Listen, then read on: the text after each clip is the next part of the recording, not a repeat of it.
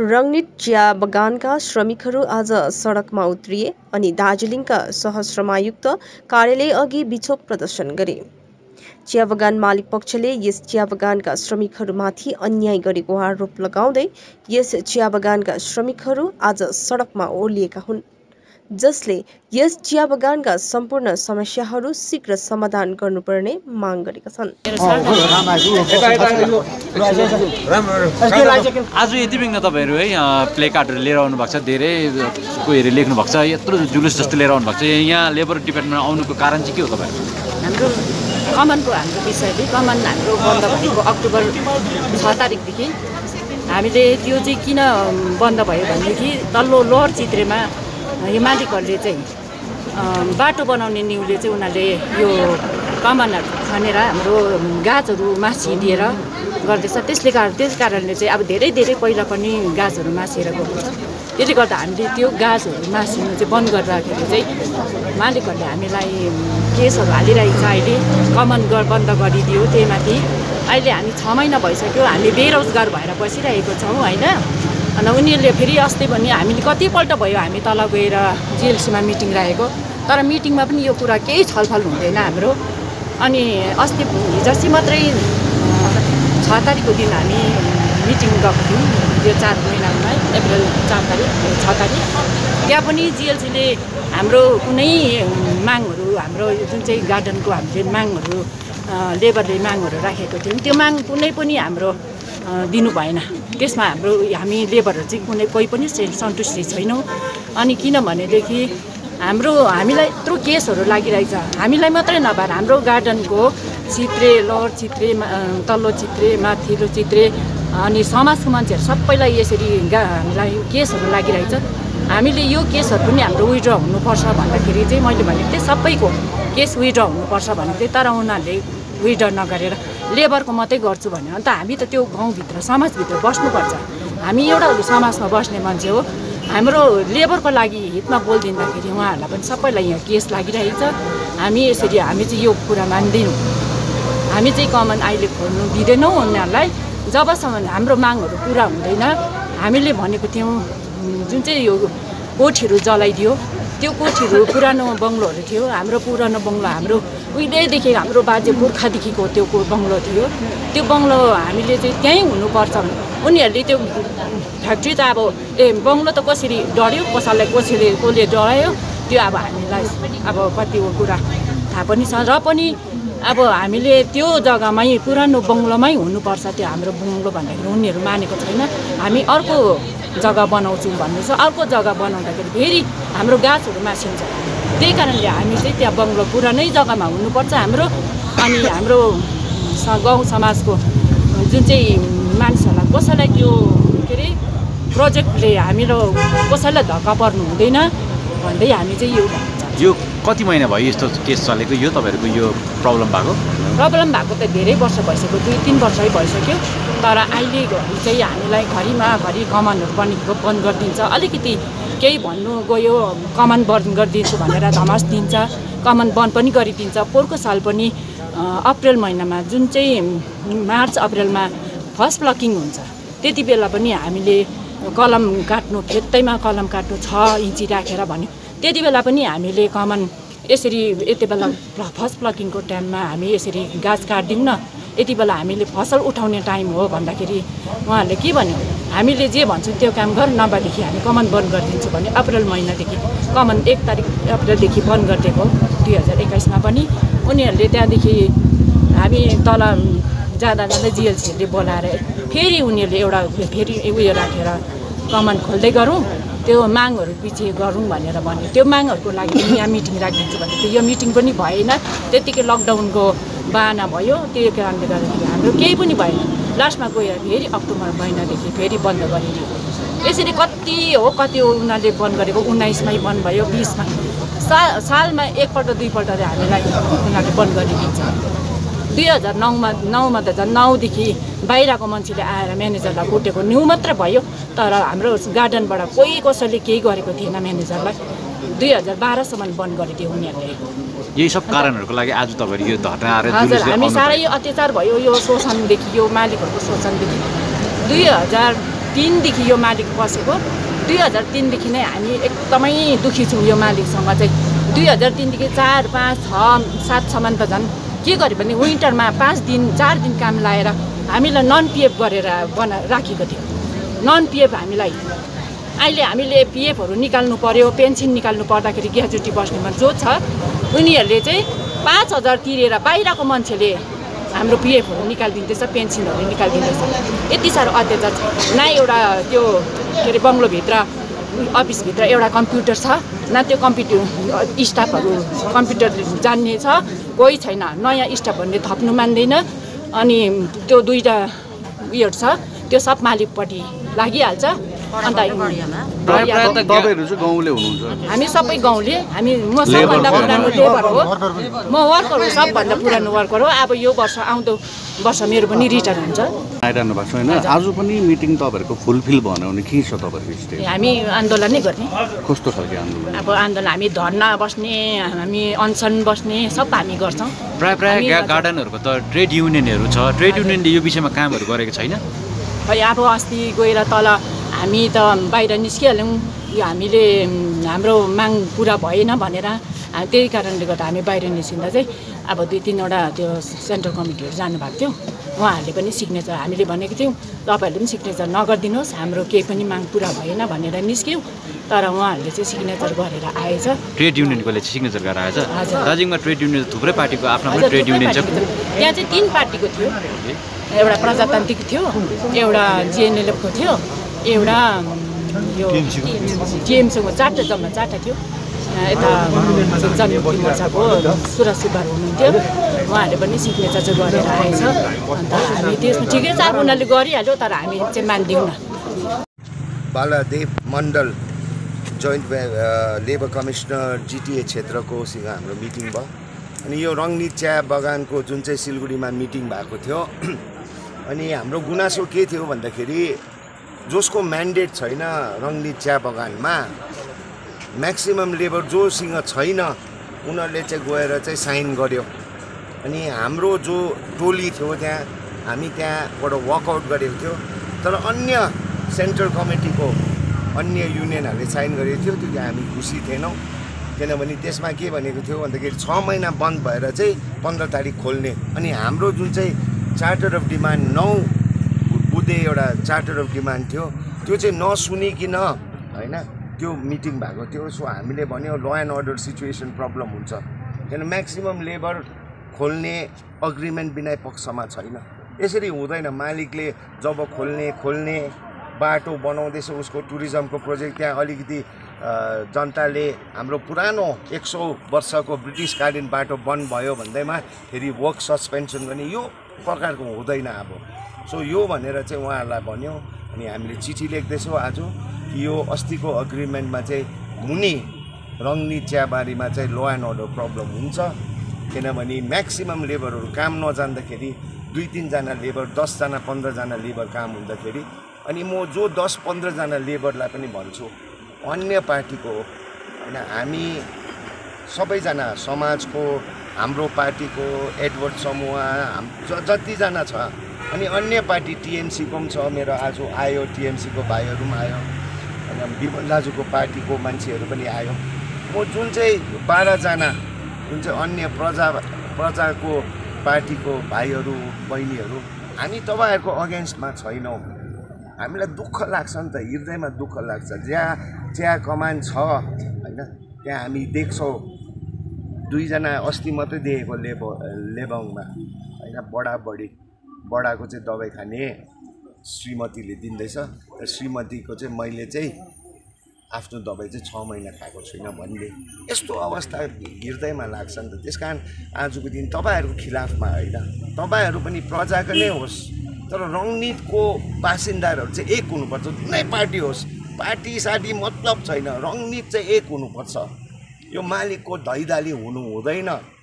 अनि जुन चाहिँ आजको दिनमा ताज होटेलको कुरा छ ताज होटेल बनाउने अरे हाम्रो सोच विचारमा यो जुन चाहिँ पन्ध्र पर्सेन्ट टुरिज्मको लागि जहाँ चाहिँ हाम्रो आफ्नो चाहिँ एउटा सानो घरेटी पनि हाम्रो हाम्रो होइन हाम्रो दिदी बहिनीको होइन आइन्दादेखि टुरिज्म प्रोजेक्ट भन्दाखेरि हामी सरकारसँग पनि कुरा गर्छौँ।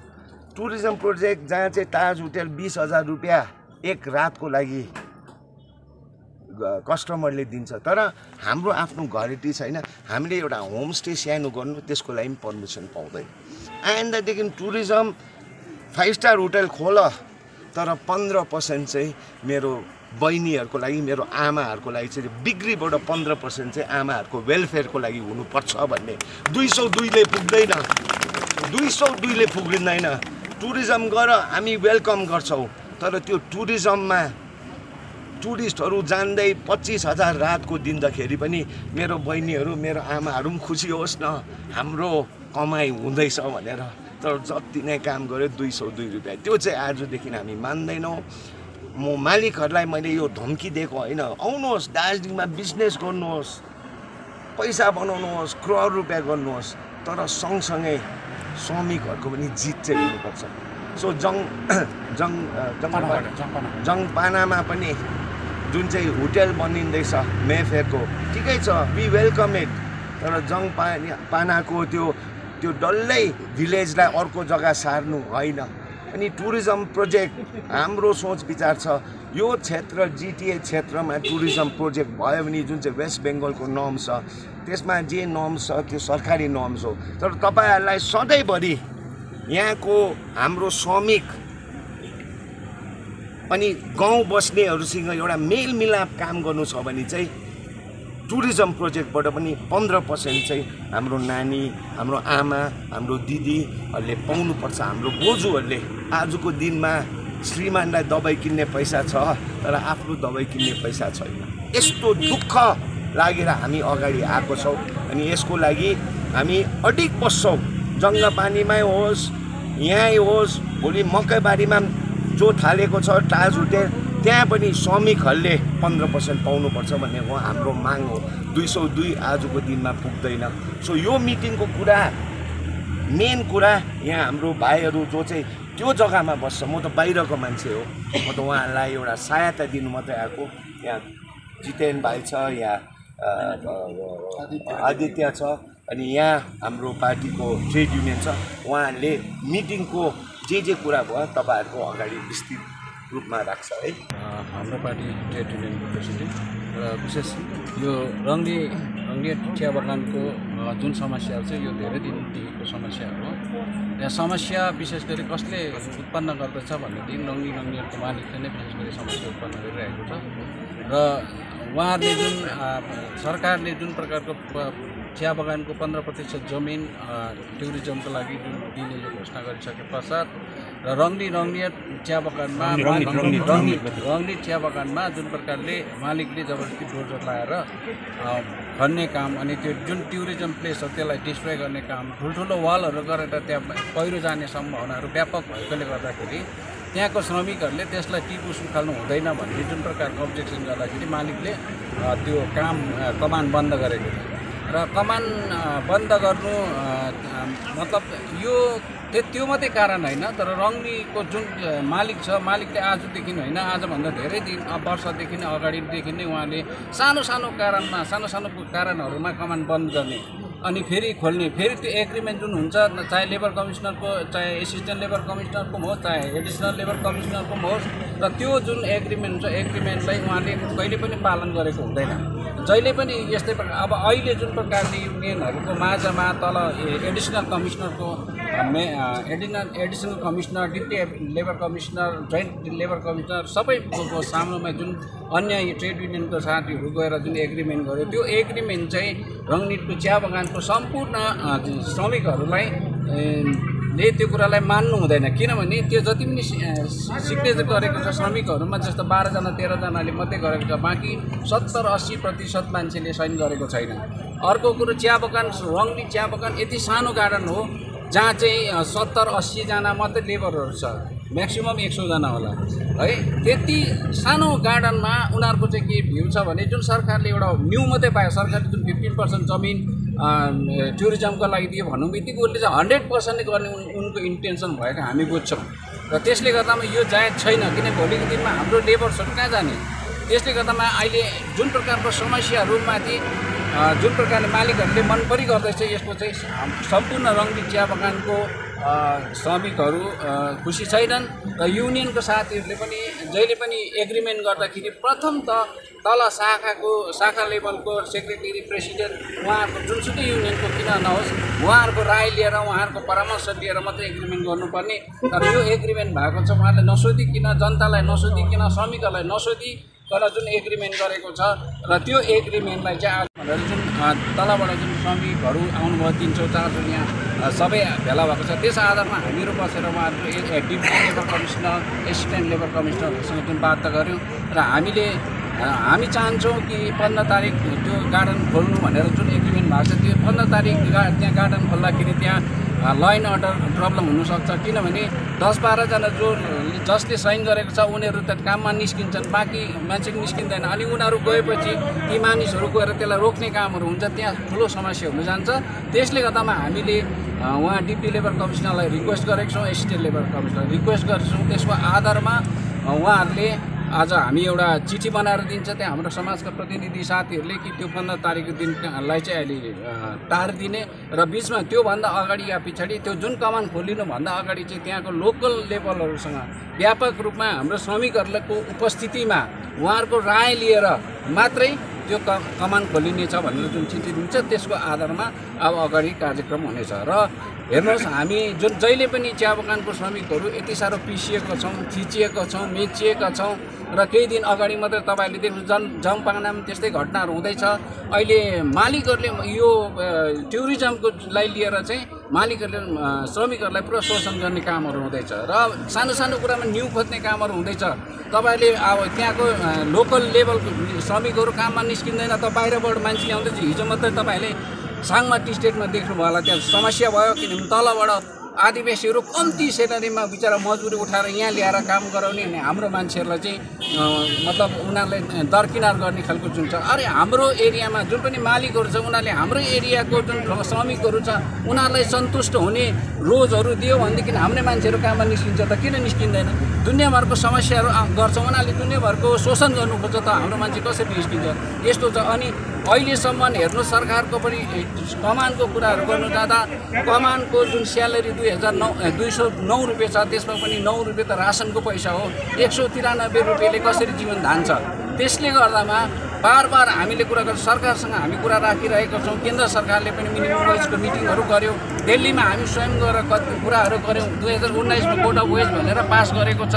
लोकसभा राज्यसभा साथै राष्ट्रपतिले पनि ठप्पा लगाइसक्यो भने अहिलेसम्म केन्द्र सरकारले पनि त्यो मिनिमम चाहिँ वेज ल इम्प्लिमेन्ट गर्नु सकेको छैन। अनि स्टेट गभर्मेन्टले पनि राज्य सरकारले पनि राज्य सरकारले पनि दुई हजार चौधमा जुन एउटा मिनिमम वेज एडभाइजरी कमिटी बनाएर श्रमिकहरूको जुन रोजी वृद्धि गर्नुपर्छ भनेर मिट पटक पटक मिटिङ गर्यो। सोह्र सत्रपल्ट मिटिङ गरिसक्यो। हिजो अस्ति दुई तारिक पनि एडिसनलको मिटिङ गरेर पनि आजसम्म फैसला हुन सकेको छैन। फोन गरिदियो। त्यहाँदेखि आएन उनीहरू र अहिलेसम्म आएको छैन। र हाम्रो चाहिँ के थियो भन्दाखेरि यदि हामीले यो रिओ रिओपनिङ नहोस् गार्डन नखोलोस् भनेर यहाँ धर्ना दिनु आएको होइनौँ गार्डन खोलिनुपर्छ।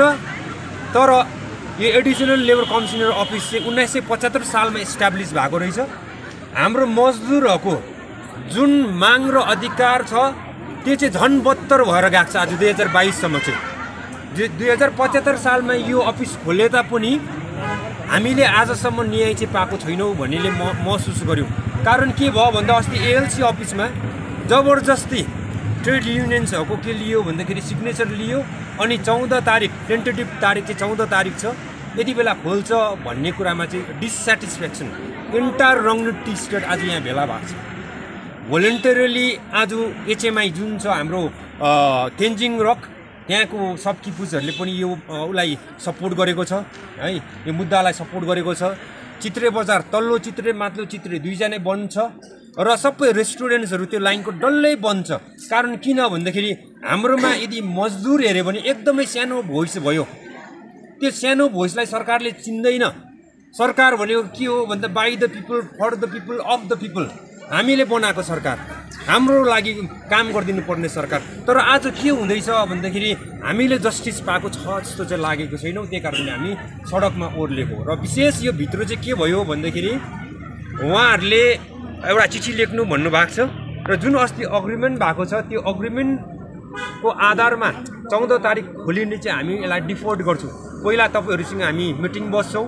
अल द स्टेक होल्डर्सहरूसँग मिटिङ बस्छौँ अनि त्यो अग्रिमेन्ट कोरिनेछ त्यो अग्रिमेन्ट आधारमा नै तपाईँको के हुनेछ कसो हुँदैछ त्यो फ्युचर डिस्कोर्स चाहिँ त्यति बेला लिइन्छ भन्ने चाहिँ अहिले हाम्रो मिटिङ भयो र मिटिङमा हामी एकदमै खुसी छौँ।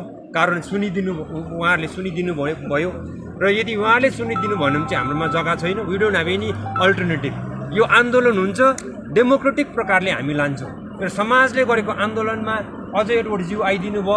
हामी आन्तरिक हृदयबाट उहाँलाई धन्यवाद दिन चाहन्छौँ।